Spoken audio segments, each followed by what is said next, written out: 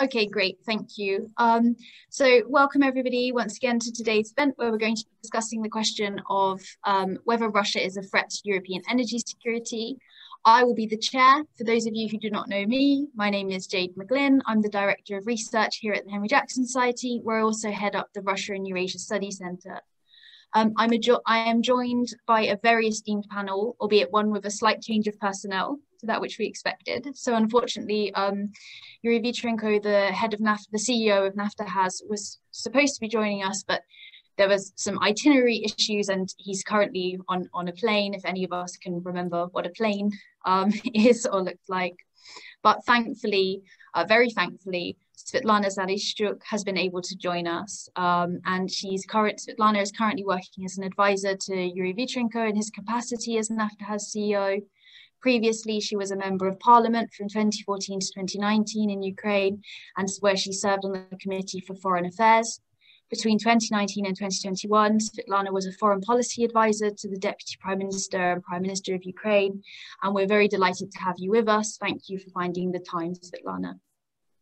Also sharing their generous time with us, I'm very happy to introduce Ralf Fücks, who is Managing Director of the Centre for Liberal Modernity, uh, translated into English, following 21 years as president of the Heinrich Böll Stiftung, the political foundation that's associated with the Green uh, with the Greens in Germany. Um, Ralf joined the Green, German Green Party in 1982, becoming a member of the research team and then serving as MP and party whip um, in the late 80s. At the centre of his work is green economics and ecological innovation, migration, the future of Europe and international politics. And as our third speaker, please allow me to introduce Alan Riley, who is a senior fellow at the Atlantic Council in Washington, DC.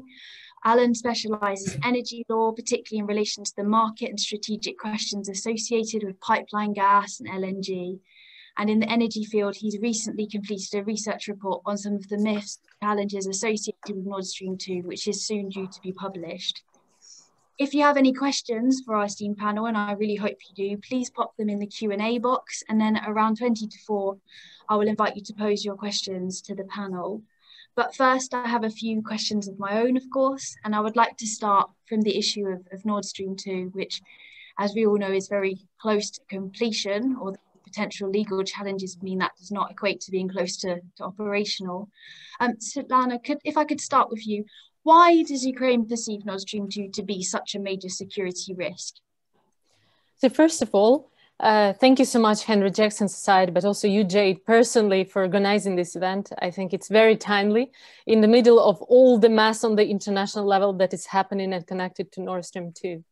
So in my mind, answering your question, since the beginning of the uh, establishing, uh, start, establishing on the Nord Stream 2, it was crystal clear that this project was an element of the Kremlin's geopolitical, I call it master plan.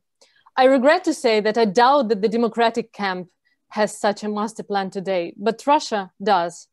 And uh, illegal annexation of Georgia in 2008, and illegal annexation of Crimea and occupation of Donbass, and war in Syria, and shooting of MH17, and interference in the US, France, Germany, and other EU countries' elections massive disinformation campaigns around the world, including, by the way, uh, Brexit referendum, of course, with pandemics now, persecution of the political opposition in Russia, civil society, and total censorship in media, poisoning of Alexei Navalny, first landing of the airplane in Belarus with the help of Russian FSB, uh, which was, by the way, coming to one of the NATO states. I think this is the uh, all part of that master plan that I'm talking about. And Nord Stream 2 is an integral part of these events, which are not simply someone's bad and wrong decision making. It's a strategy. And it's aimed, obviously, not just against Ukraine, what some European leaders prefer to think in its uh, dangerous complacency, as I see it.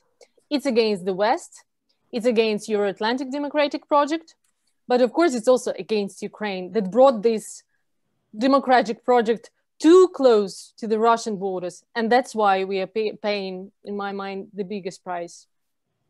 Pipeline proponents argue uh, that Russia is working to ease Ukraine's inevitable economic pain from Nord Stream 2.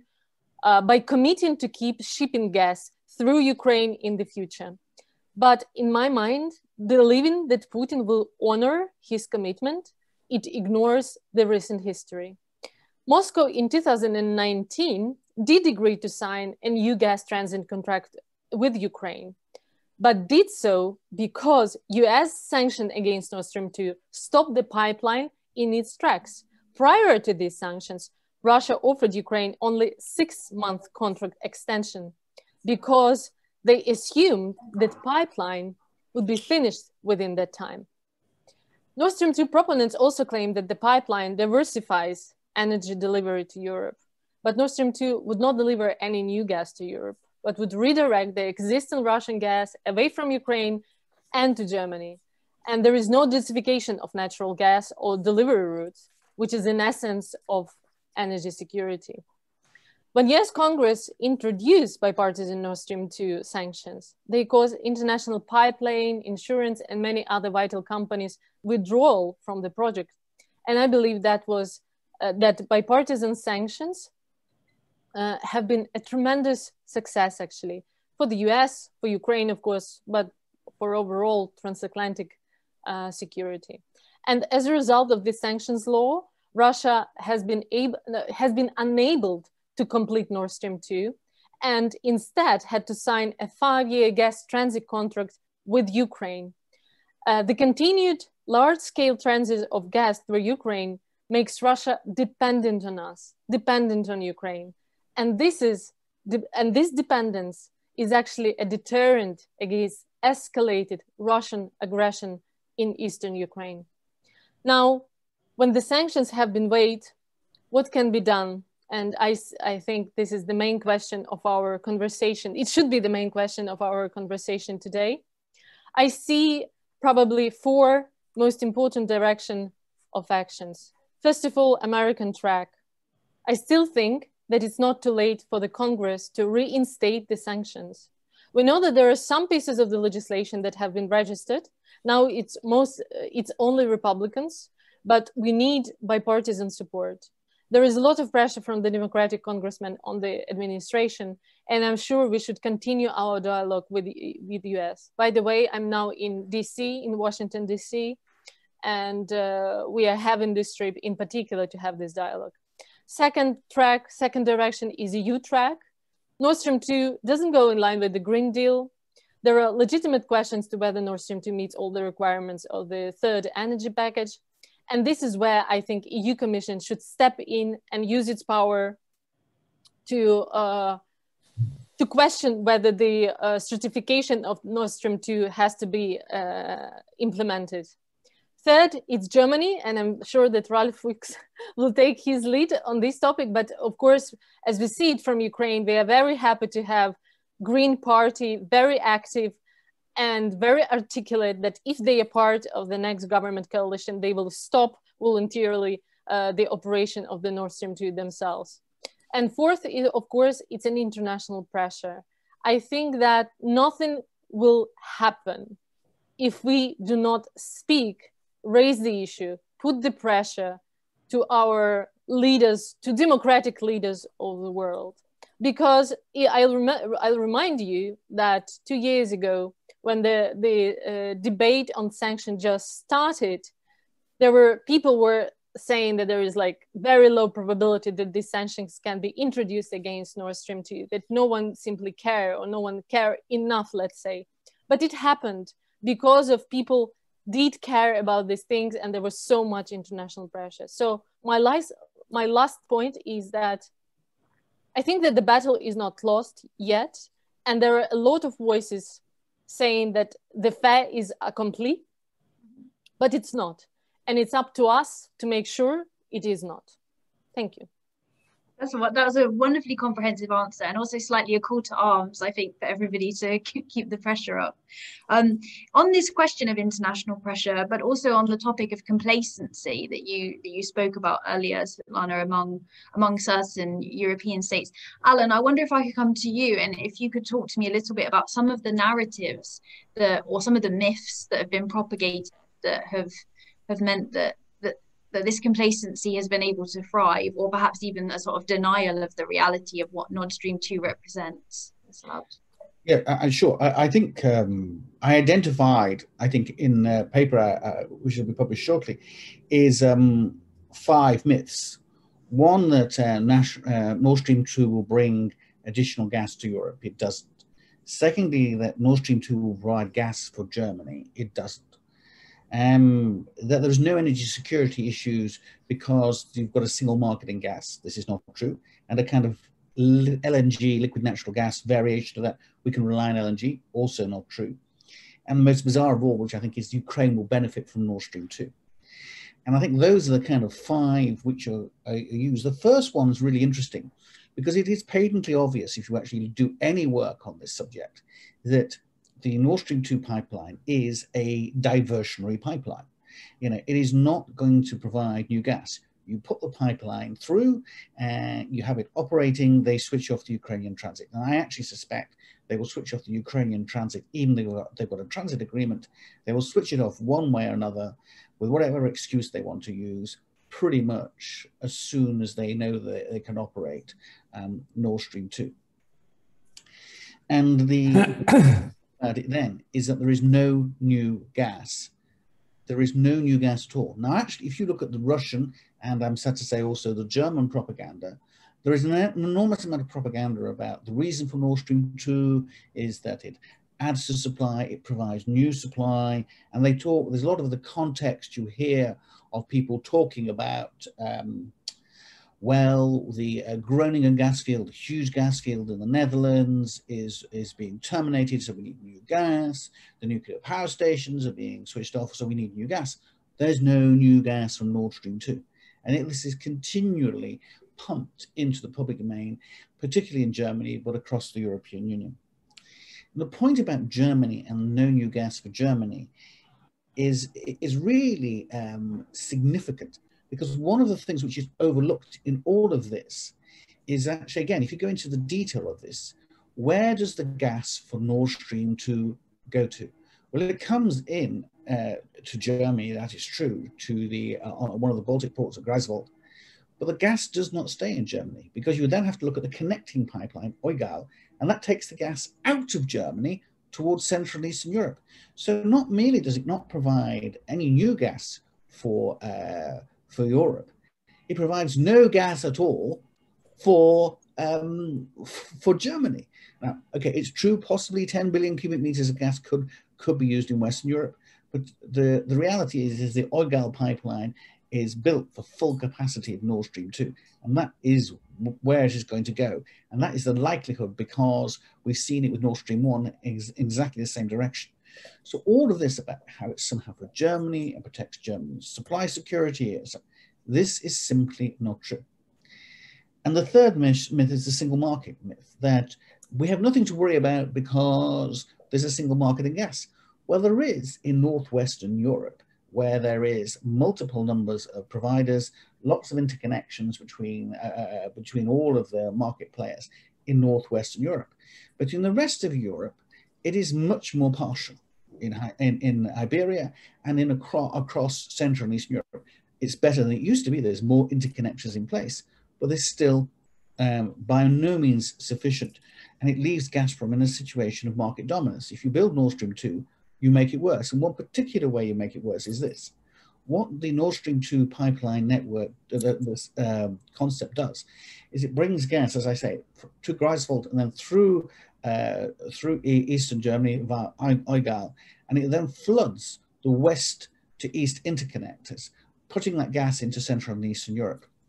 And essentially what you're doing is you're removing the capacity of anybody else's gas coming into Central and Eastern Europe from the west, which is the most likely route it would come in, splitting the single market, and then you're reinforcing the, the Gazprom's overall power, market power by switching off the Ukrainian transit system so that you are actually significantly enhancing their capacity to control and influence the market. And that also leads to political um, uh, consequences, uh, political influence as well.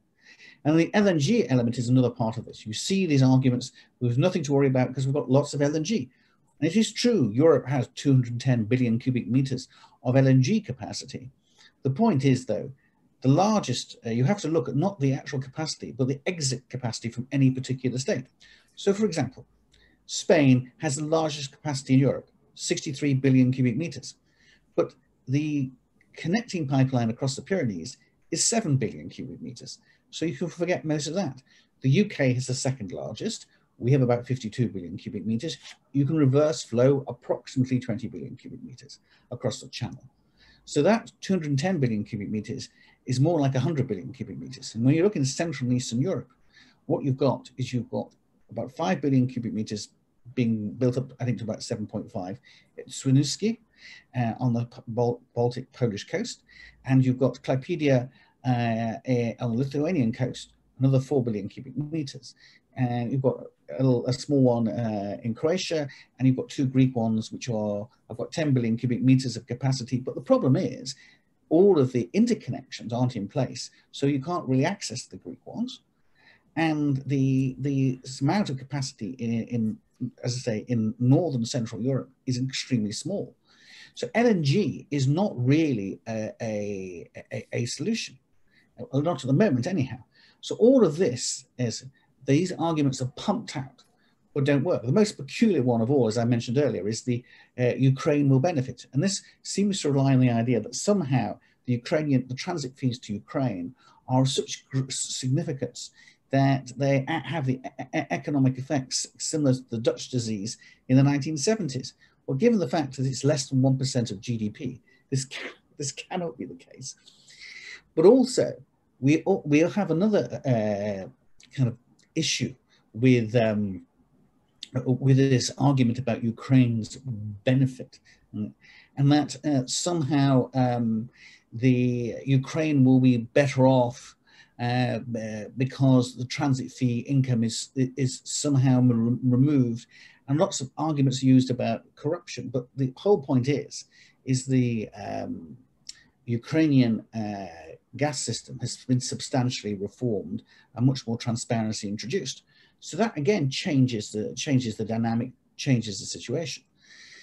And, and, of course, the point is, is that the, the, the, whole argument around transit fees is entirely um, uh, how can I put it, misconceived, because the key is not really transit fees for Ukraine.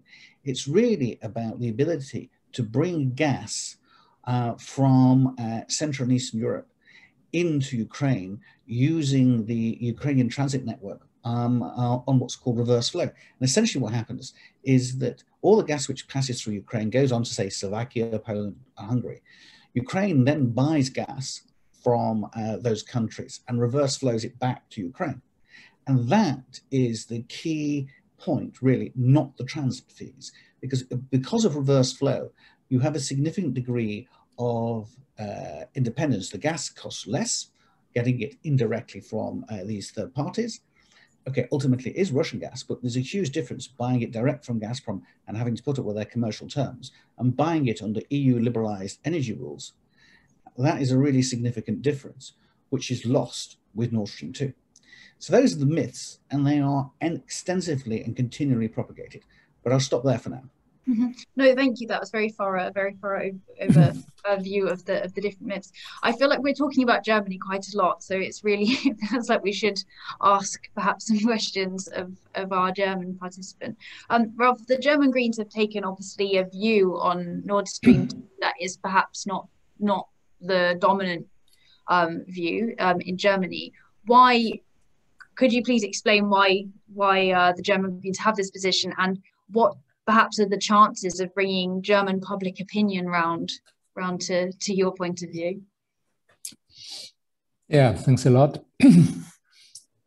First, I should say that uh, I'm no longer an official of the, the German Greens, and our new think tank, the Center for Liberal Modernity, is strictly bipartisan, but I'm still, of course, a member of the party and very familiar with um, its policies. Um, so I think there, there's a bunch of uh, reasons for the um, indeed not um, typical uh, attitude of the, the German Greens towards Nord Stream 2. First, of course, uh, uh, green policy still is very much about uh, ecological issues. Um, Nord Stream 2 building uh, such kind of uh, infrastructure um, to continue Russian natural gas exports to Germany for the next 30 or 40 years is clearly uh, contradicting the new, much more ambitious uh, climate uh, targets uh, of both the EU and uh, the German government. Um, the, the, ruling coalition in Germany just recently um, declared that Germany should go for um, zero uh, CO2 emissions in uh, 2045 already. So um, and, and even the current um, climate and, and energy goals of the EU are demanding a decline in natural gas consumption um, beginning with the next years, yeah, until uh, 2030, um, maybe one third of the, the overall gas consumption of uh, the, the EU has to be um, replaced by uh, renewable energy sources. Uh, so it's not only about uh, phasing out coal, uh, but it's also about reducing natural gas uh, consumption, especially if you're looking to the very aggressive climate impact of methane,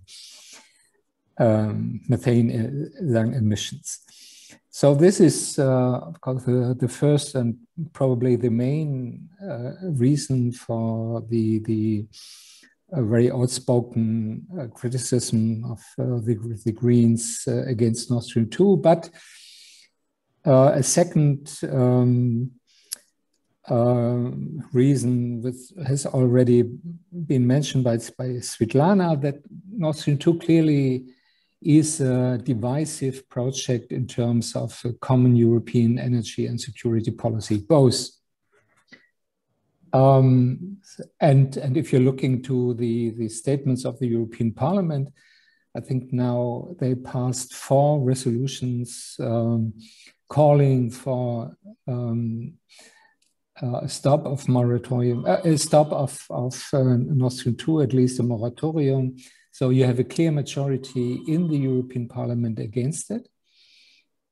Um, it is uh, not in line with the um, third European energy package, the, the, the gas directive of the European Commission demanding for a diversification of supply and the unbundling of uh, uh, gas transport, uh, running of pipelines and um, uh, the, the producer of uh, gas um, and last but not least, uh, I think there is a growing awareness that um, indeed Nord Stream 2 is uh, a security threat to Ukraine, not only in terms of energy security. If you are um, separating European uh, gas supply from transit through Ukraine, uh, this gives Putin a free hand to escalate the, the uh, political and military uh, the aggression against uh, the Ukraine, it uh, makes Ukraine much more vulnerable. Um, so uh, I see. I, I, think this is the the most serious political mm-hmm. threat, um, together with the um, undermining uh, uh, European unity in, in, in core political uh, areas. So I would agree that Nord Stream 2 from the beginning was a strategic, a geopolitical project uh, by, by, by the Kremlin. And it's probably one of the major uh, political shortcomings and strategic mistakes of the, the German governments in the last uh, 10 years uh, that they, um, I would say, willingly or um, maybe because they didn't confront themselves with the, the political impact of Nord Stream 2 um, um, continue to, to, to assist um, the, the Russian authorities in this uh, strategy.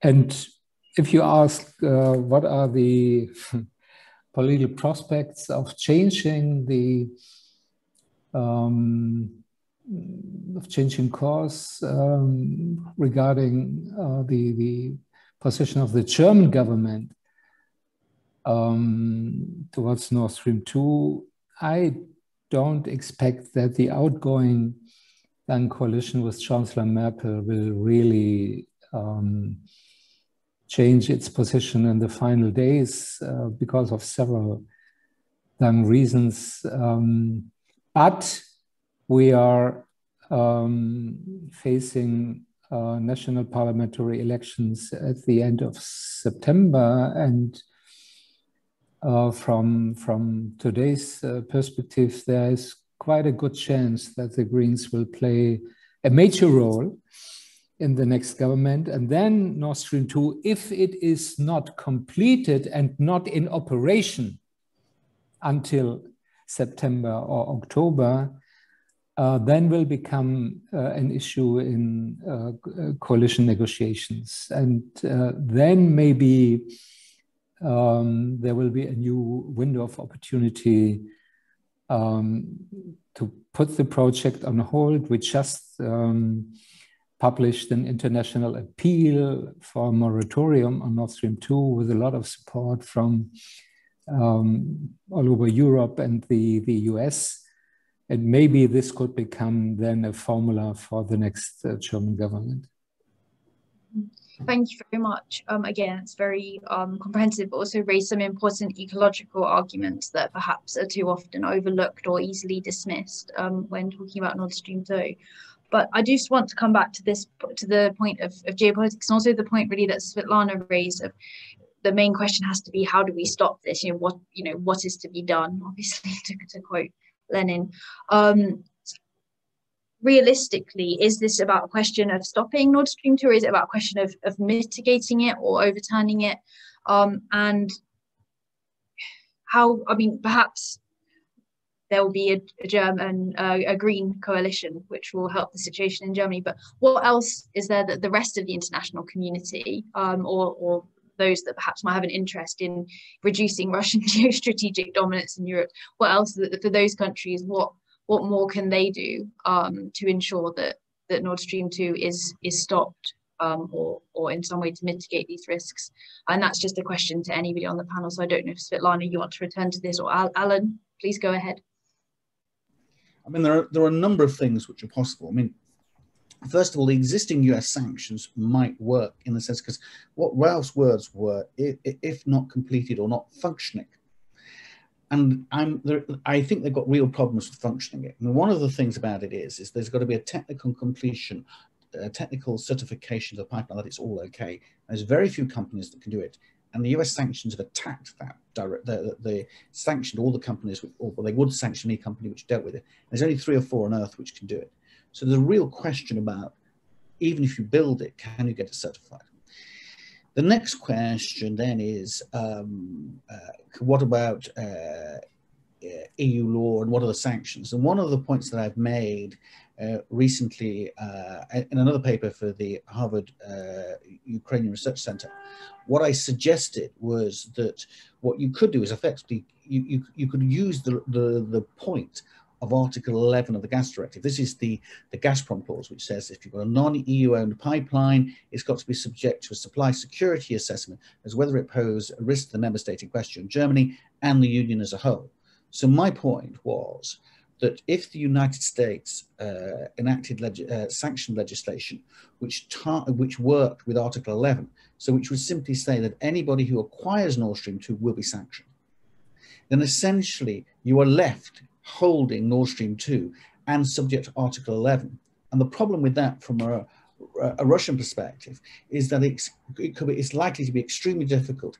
Even if the German regulator says there is no supply security risk with Nord Stream 2, with Gazprom as an owner, because Gazprom owns 100% of Nord Stream 2, You, uh, you, can, you, you can be absolutely sure that several Central Eastern European governments will be suing Germany and the German regulator in the EU courts. So that that creates a, um, a, a, mechanism. And also, I should say, there is a case called the Opal case, which is now before the European Court of Justice. And we had the Advocate General's opinion on the 18th of March. And that took a very, very broad uh, uh, approach to the principle of solidarity in energy terms. And the, it, that could have a very significant effect when you interpret Article 11. So that's one. That's another thing which which we potentially could do, which would uh, which would work. So I think there is a, and there's also another legal battle in relation to the actual full application of the liberalization rules to uh, the to the directive. I'll give you one example. One of the issues is not just ownership unbundling, but also ownership unbundling and third-party access. Now, I, you know, they will never in a zillion years want to provide third-party access to Novatek and Rosneft coming into the Nord Stream 2 pipeline. But again, this is an issue to be litigated all the way mm -hmm. to the court. Tar tariff transparency, all of these things can be fought out all the way to the ECJ. Mm -hmm. So there's all of that which plays into the mix as well. Mm -hmm. I think the other thing which is just worth mentioning is, you know, okay, what happens if Nord Stream 2 is completed? You know, I mentioned earlier about the LNG terminals, uh, there being very few of them.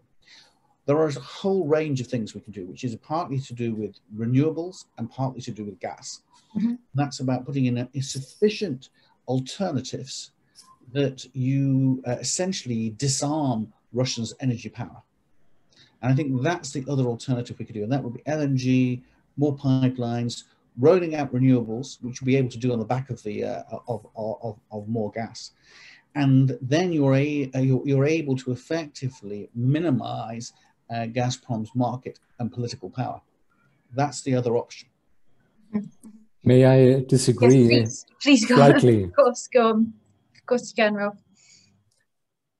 I think, of course, we, I guess, agree in the fundamental uh, goal of um, putting Nord Stream 2 on hold because of all the reasons we had been discussing since years. But please don't talk yourselves into a kind of illusionary an expectation uh, that you would be able to stop Nord Stream 2 without creating a new political majority in Germany and without changing the German attitude to the project.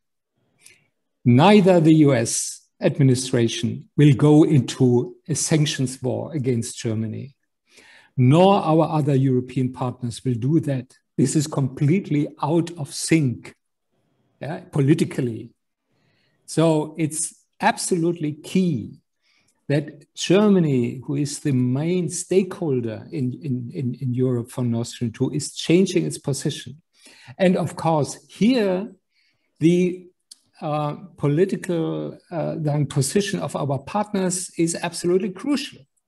Yeah, the, the Biden administration should be very clear that they don't um, uh, uh, stop their, their, their criticism and that they are not ready uh, to swallow the Nord Stream 2, that they stick uh, on, on uh, we have to find common ground uh, in Europe and then with in, in, the transatlantic relations um, regarding our uh, common energy and Russia uh, then policy.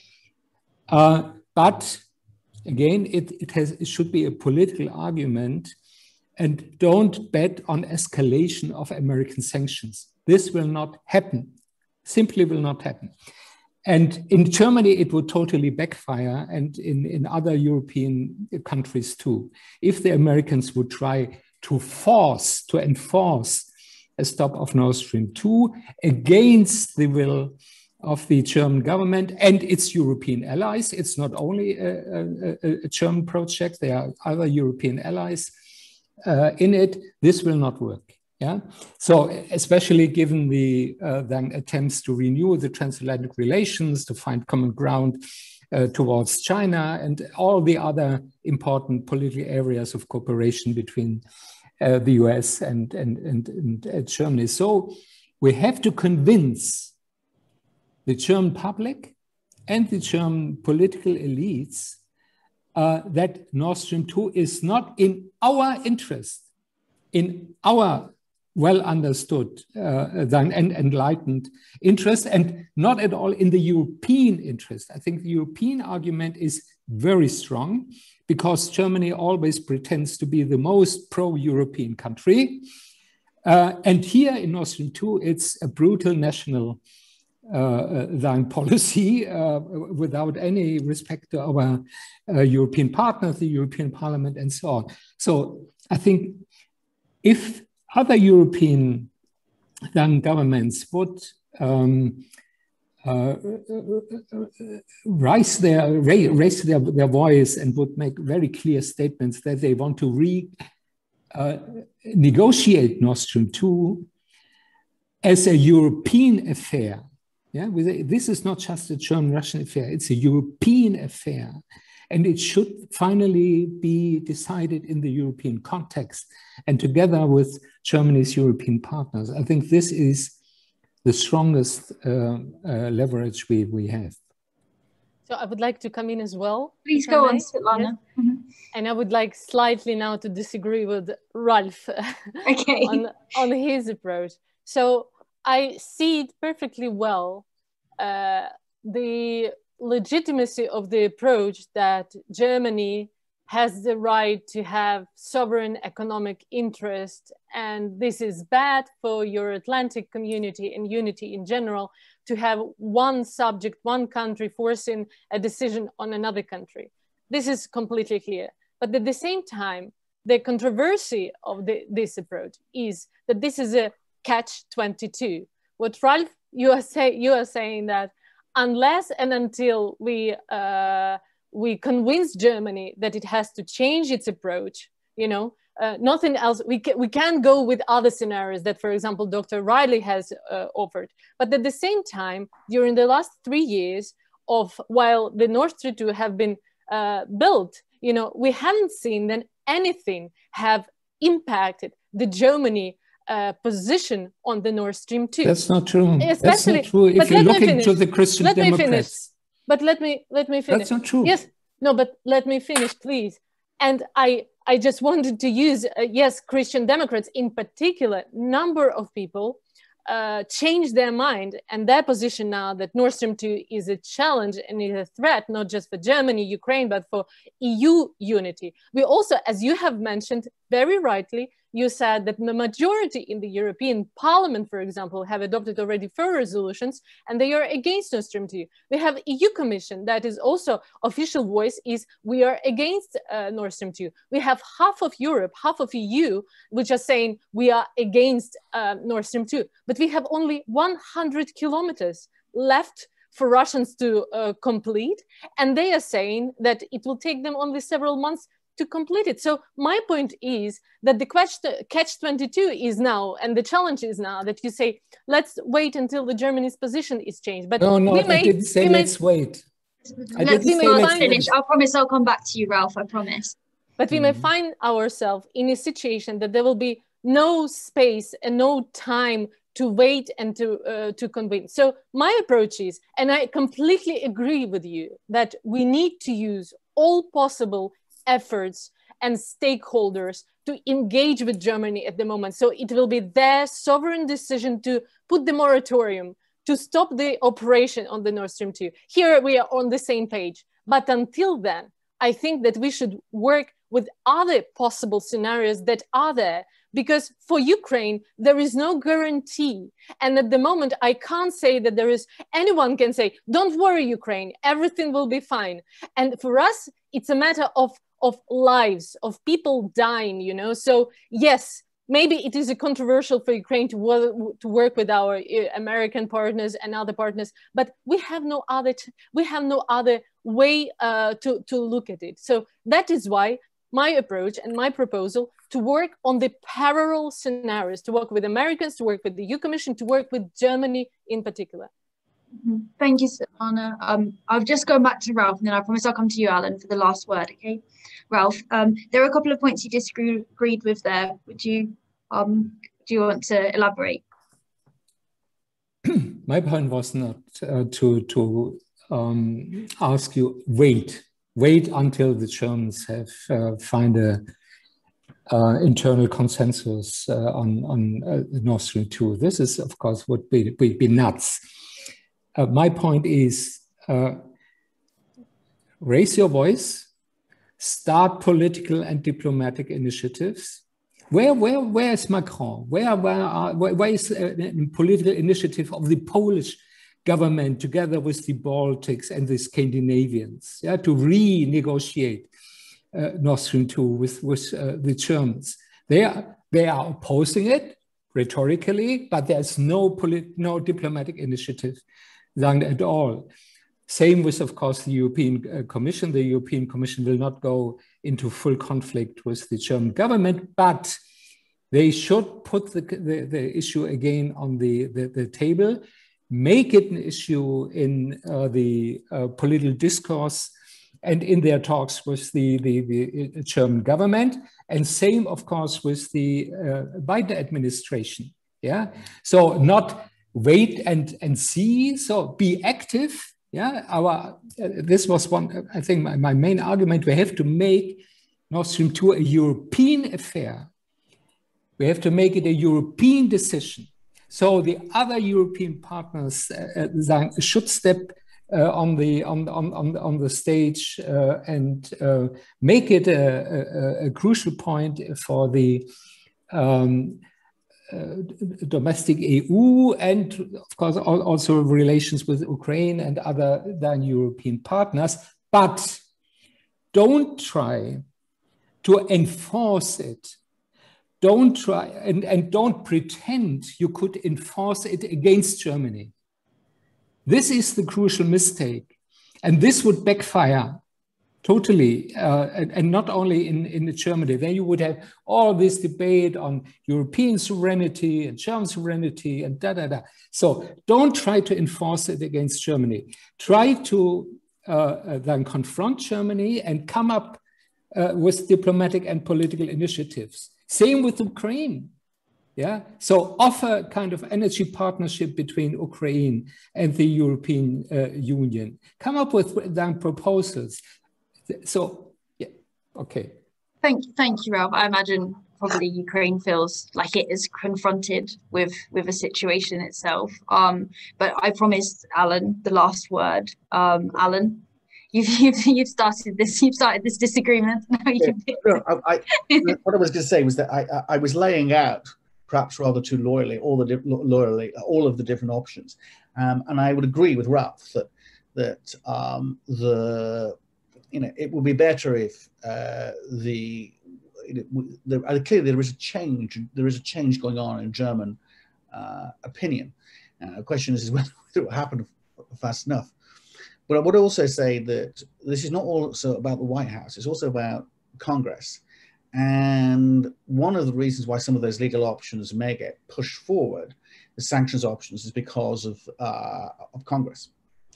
The other thing which I think is worth saying is this, that whilst EU sanctions, so US sanctions may, uh, may or may not be applied, and probably for the reasons that Ralf gives, probably won't. You cannot uh, ignore EU law in all of this, and it will actually um, bear down on this. So even if the German government remains opposed, it will, I suspect, find itself trapped in the maw of a series of arguments before the Court of Justice. And I, my, my general sense of this, seeing the, the, the, the way the Opal case is played, played out, is that uh, it will be very, very difficult for Nord Stream 2 and for the, for the German government. I would also say the other thing about it is in terms of European solidarity. I think a lot of Europeans will probably take the view it is Germany who has not been um, providing solidarity. And I'll give you one glaring, I'll give you one glaring example of this. It is quite jarring. The, the whole, a lot of this issue about um, the, the legal obligations of, of, of, taking into account other member states' interests in energy terms surrounds the Article 1941 of the EU treaties with the principle of solidarity within it. Um, and we actually, we haven't had the judgment yet. We had to say the Advocate General's opinion on the Opal case on the 18th of March. So you can actually read in there what the German government said. It is mm-hmm. quite stunning, really. It mm-hmm. actually said that the um, it took the view that the principle of solidarity, which is in the energy provision of the treaty, Article 1941, um, has no legal effect and doesn't bind the member states in any way whatsoever. And it's quite a staggering thing for the largest and most powerful country in Europe, in the European Union, um, which benefits so much from the energy single market to say such a thing. Because of course the point is once you create a single market in energy everybody is reliant on everybody else. You, you know that entire thing relies on solidarity. Mm-hmm. so i think there is a, there is an issue there which uh, and i see in many ways you know if i had been the chief legal advisor in the german foreign ministry ministry i would have said are you crazy we can't run that argument alas you were not Alan. I, I was not, what I mean you look absolutely terrible Mm-hmm. I mean, it really is kind of unthinkingly, we run these legal arguments, we're not really thinking about the broader context. Uh, we lose anyhow. So, you know, the point about this is you're going to lose anyhow. Why are you going to make these arguments? Mm-hmm. Really, you put us, you're putting yourself in a very difficult place. And I, I don't, I don't quite understand, and I still don't understand how Germany has got itself in. I mean, I know some of the history, of course, but it seems pretty amazing given the reaction that somewhere along the line over the last six years, that somebody in Berlin would have said, This is insane. Why are we doing this? Yeah, no, I think it's a good point to raise. Um, I'm going to go now quickly to the questions because we've gone over slightly in our time, but it was an interesting discussion, so I didn't want to, to interrupt it. The first question is from John Wilkin, so I'll ask him to, to ask his question, please, John. Hello? Hello, hi. Okay, um, Russian propaganda outlets such as Russia Today give quite a lot of coverage to anti-fracking campaigns. First of all, is it fair to say this is motivated by more than environmental concerns? And do you think the issue of energy security is a reason for Western countries to exploit shale gas resources more? Thank you, John. So this is a question more broadly, I think, around I suppose other broader questions of energy security that we had hoped to address, but Nord Stream 2 perhaps predictably um, ate up points. Um, Ralf, do you have any particular comments on on um, the potential sort of Russian Russian efforts to undermine um, different types of, to, to course, use environmental? Of course, they are they are employing of arguments, um, even environmental ones, although they are ignoring completely uh, climate and, uh, and environmental uh, purposes in their own policies. Russia is a fossil empire economically, and so, or you can say authoritarian petrostate. Uh, today based on the export of coal, gas, and uh, um, oil. So it's not very credible if mm-hmm. they if they um, appeal to then environmental arguments against shale gas, but um, I think we have to be aware that especially under the new climate goals of uh, the the uh, EU and Germany, it's no alternative to build new LNG terminals. Mm-hmm. Yeah, uh, it's just another infrastructure for, for natural gas for the next 20 or, or, or 30 years. I think this will not fly. Uh, so we have to find other alternatives. Um, uh, Alan Riley al already uh, touched touched upon this, um, going for for increased renewables uh, and enlarging our renewable energy partnership also with uh, Eastern European countries like Ukraine and North African countries. So, okay. Thank you very much, Ralf. Thank you. Um, the next question is from Sabrin de Jong. Hello. Yes, hello, good afternoon, uh, Sabrin de Jong speaking. Uh, my question is for Dr. Alan Riley. Hi, Alan. Um, I have a quick question. How would you sketch the um, likely path following uh, the um, possible completion of the Nord Stream 2 pipeline? So, because most likely uh, some EU member states will want to sue the European Commission over compliance of the project with uh, European law. Uh, how likely is it, in your view, that Nord Stream 2 will be able to run at full capacity at all, given the uh, obvious incompatibility with particular EU legislation? Uh, thank you.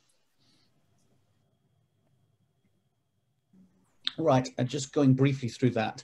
Um, I think the issue of, of, I mean, I think it's really important to understand that with Nord Stream 2, uh, even if it is physically completed, it doesn't mean it can function. It has to go through a whole series of processes. One I mentioned is technical certification. And I'm not actually sure, as it stands, whether it's possible for, uh, given US sanctions may effectively allow it to be built, but not allow it to run, because they may not find able to find anybody who can credibly certify it. The that's the technical certification, i.e. pipeline's okay. Even if they do get through that, the next thing is compliance with the third energy liberalization package. And I think obviously I mentioned Article 11, that's quite difficult. It's made worse by recital 10 of the, of the, of the gas directive. What that does, it imports the concept of control, i.e. do you really control the pipeline, to uh, from EU merger law, which is incredibly broad. And because essentially all state-owned enterprises, one way or another, and even private enterprises, one way or another, are subject to the Kremlin, it's going to be very, very difficult to escape the the the, the scope of, of, the concept of control. That's one issue. The other issue is, um, uh, I say, Article 36. How on earth do you comply with the um, the terms of uh, the liberalization direct liberalization directive and then an exemption for Article 36? That's very difficult. All of these things create a series of real problems for the pipeline. And I've got, I think therefore one of the things I would say about this is that I think the worst case scenario may end up that the pipeline is allowed to use 50% of its capacity. Now I suspect that the problem with that is that you can just imagine they will then spend loads of time trying to cause as much problems as possible to try and get that 50% further up. So it won't end the thing. But I think that's the absolute, I don't see how they were able to get any more than that because the commission will probably impose that. But there's also lots of other issues. For example, you know, as I mentioned, this issue about third party access, or if they come up with trying to find a scheme around ownership unbundling, all of these issues will end up being litigated one after another. The other element of this, which is important, is that the Court of Justice eh, and the General Court can issue interim measures proceedings, effectively stopping the operation of the pipeline until these issues are concluded. And in fact, that mm. probably will be the case. So all, this actually happened in the Opal case for six months. They weren't able to use the um, more expansive interpretation that a new commission decision uh, gave Opal. So I can see there being a similar situation here with, with, with a series of interim measures. The other difficulty, this is not a functioning pipeline now, and it's going through the process. So I find it very difficult to believe that you will be able to effectively grant certification and let the pipeline run and then have the legal argument about whether it is, it is lawful. I suspect that any attempt to do that would result in interim measures by the court, by, uh, by Poland or Czech Republic or whatever it was. They would, whichever member state wanted to bring them. You would end up in a situation where you'd have the, the interim measures imposed before the uh, you were able to actually do anything with the pipeline. Those will be sustained. So you, I think it, it creates quite a difficult situation for, mm-hmm. for Nord Stream 2 going forward. And that actually provides a, a, also a means of leverage to actually perhaps do the sort of deals that you're talking about. Thank you, Alan. Um, very thorough as usual. Thank you. Um, and then um, a question from James Wiley. James, you have a few questions, so I don't know if you want to pick one or two um, to focus on just, just to the time. Thank you. Okay, JD, can you hear me? I can, I can. Hello. Thank you. Yeah, it, my first quick question, and it demonstrates my ignorance. Uh, is there an actual German-Russian treaty or trade agreement about Nord Stream 2? And indeed, if it was unilaterally stopped, then wouldn't that be breaking international law? And wouldn't Moscow be quite correct in seeking compensation? Now, that's question number one. Question two is a bit, a bit grander, a bit more historical. But uh, you know, for reasons of state, we have seen Germany and many other countries, you know, overlook the niceties of European uh, politics, European idealism, and indeed even over uh, ecological concerns. Now, the point I'm coming round to is that aren't there historical and geostrategic realities at play here that, as we've seen sadly over the past century, uh, European security and stability depends fundamentally upon good German-Russian relations. You know, things are not all that good right now. Mm -hmm. a, a, unilateral decision to pull out of Nord Stream 2 would make them so much more worse. And that is much more important than anything else in the European structure.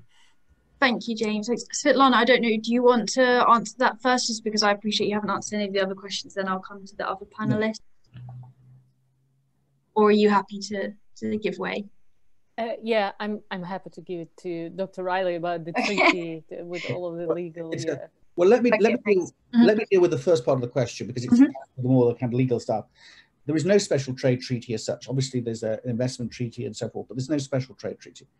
The, um, the real, um, and there is an argument that if US sanctions are imposed, there would be a potential uh, possibility of damages. Although I think the difficulty would be that um, there are various national security arguments that, that uh, uh, could be used. And of course, it was an external, uh, it was an external consequence uh, of the United States, and the United States can't be sued, and Germany can't be sued for the, for the actions of uh, for the actions of, uh, of, of the United States. In terms of the EU law, if basically the uh, Article 11 of the Gas Directive applies, and they say, sorry, no certification, well, you know, that's the chance you took in building the, the pipeline in the first place. Um, you can't get around that equally if you can't uh, comply with the liberalization rules, well, you know, that's your problem. Now, Gazprom is suing the European Union, both under union law and under the Energy Charter Treaty, in uh, and trying to argue that the entire legislation is illegal. I would put this as this is how can I put it? How would you? I suppose you always say this is this is very challenging, shall we say? So it's not going to go very far, I suspect. So the compensation issues are, I think, very difficult for them to rely on. But on that point, I'll stop. As for the historical stuff, perhaps Ralf might want to have a go at that. Ralf? Yeah, of course, the compensation argument plays a, a role in the German debate. It's about nine to 10 billion euros, but okay, maybe there are some legal ways to, to, to avoid it, but if there is a political will.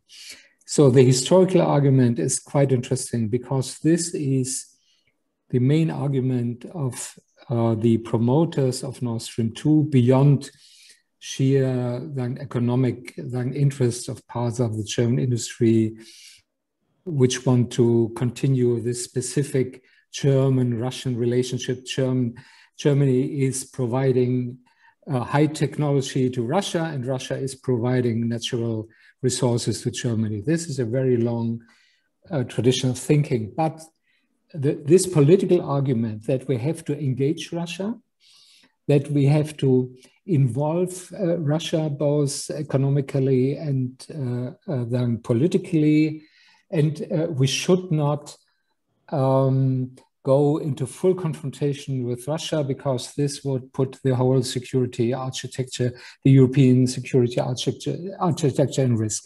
This is the main argument of the, I would say, the more um, serious uh, advocates of Nord Stream 2 in the political arena in, in Germany from the Social Democrats and also still the majority of Merkel's party, and maybe uh, she herself.